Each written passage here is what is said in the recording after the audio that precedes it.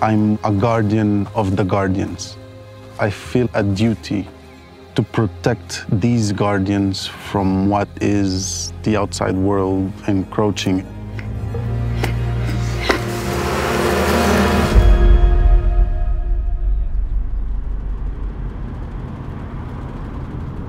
I work within the National Geographic Okavango Wilderness Project as the community liaison with the people living in these Angolan highlands.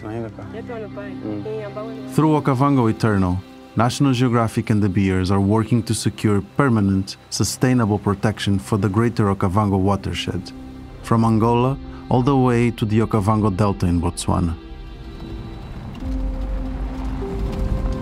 The upliftment and empowerment of these communities will be the key to preserve this landscape. A landscape that supplies water for millions of people downstream, in Botswana, in Namibia, in Zambia.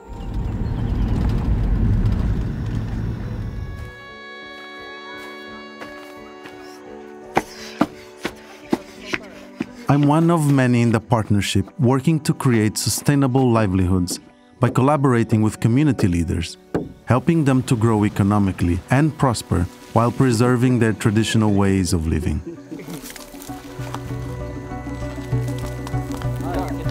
Communities here use their understanding of African bees to create delicious wild honey.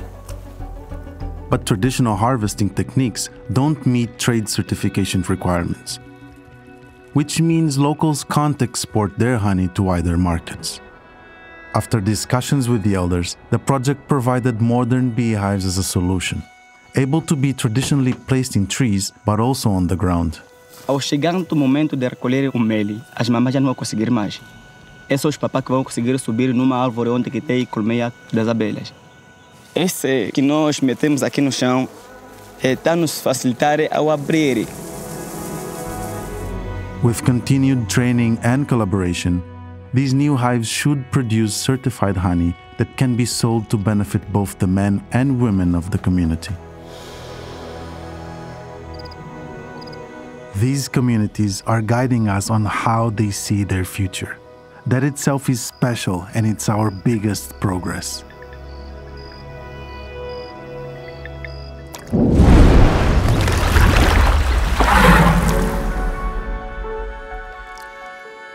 Most people in Botswana don't know that the waterways come from Angola. The Okavango Delta has been uplifted by the tourism industry for many, many years. People who are living in the Delta, many of them have been left behind. I'm hell bent on securing the future of the Delta through the future leaders of the Delta. The funding that the Okavango Eternal Partnership has afforded us is to help us unroll the livelihoods and the development of people. I essentially manage the operations, recruitment, and field expeditions and science expeditions. And of recent, we've also included an education expedition, which is led by myself. The teachers can see what there already is in their syllabus and curriculum out in nature so that they can better explain the syllabus to their kids. 20?